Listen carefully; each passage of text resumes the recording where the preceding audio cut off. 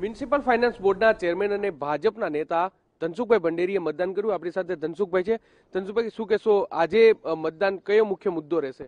વિકાસનો જ મુદ્દો રહેશે. ભારતીય જનતા પાર્ટી વિકાસના કામના આધારે જઈ રહ્યું છે. દેશમાં નરેન્દ્ર મોદી સાહેબની સરકાર, ગૃહમંત્રી અમિતભાઈ શાહના માધ્યમથી જે દેશ માટે અને ગુજરાત માટે કામો થયા છે, એ લોકો સારી રીતે જાણે છે ને એનાથી સંતોષ છે. ગુજરાતમાં ભાજપની સરકાર વિજયભાઈ રૂપાણી અને નીતિનભાઈ પટેલના વડપણ હેઠળની સરકારે પણ ગામડું હશે કે શહેર? તમામ પ્રજા માટે ખૂબ સારું કામ કર્યું છે. પ્રજાલક્ષી સેવા આપી છે. ઉત્સાહથી સમર્થન છે. એમ પ્રદેશ અધ્યક્ષ સી આર પાટીલજીના નેતૃત્વમાં ભાજપના કાર્યકર્તામાં જોમ અને ઉત્સાહથી, પૂરી આક્રમકતાથી લોકો વચ્ચે અમે ગયા છીએ પ્રચાર કાર્યમાં.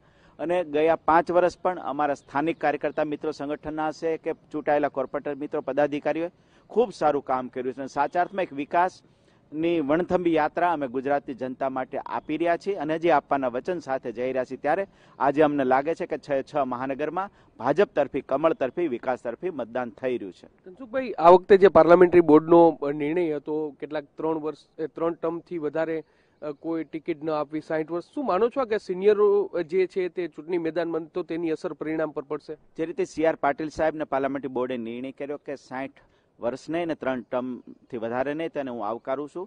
કાર્યકર્તા તરીકે અને ગુજરાતની જનતા ભાજપના કાર્યકર્તાએ આવકારે. એટલા માટે કે અનેક વર્ષોથી કાર્યકર્તા મિત્રો કામ કરે છે. પણ આ અન્ય કાર્યકર્તા મિત્રોને ચૂંટણીમાં તક આવવાથી લડી નહોતા શકતા. હવે તક મળી છે. આ જે કાર્યકર્તા મિત્રો છે ત્રણ ટર્મમાં હવે ચૂંટણીનું સુખાન સંભાળી રહ્યા છે અલગ અલગ વોર્ડમાં.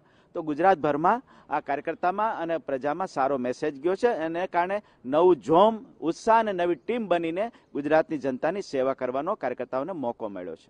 રાજકોટ કોંગ્રેસ દ્વારા ગઈકાલે પોલીસ કમિશનરના ઘરની બહાર ધરણા કરવામાં આવ્યા અને જે પોલીસની સત્તાનો દુરુપયોગ થતો હોવાનો આક્ષેપ કર્યો. આને આપ કઈ રીતે જુઓ છો? મને લાગે છે કોંગ્રેસ ચૂંટણી પહેલા જ હાર પાડી ગઈ છે.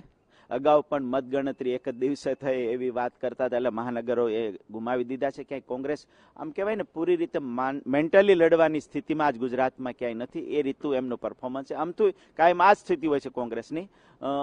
એક સાંધે ને તે તૂટે જેવી સ્થિતિ હોય છે. અલગ અલગ ચોકા છે.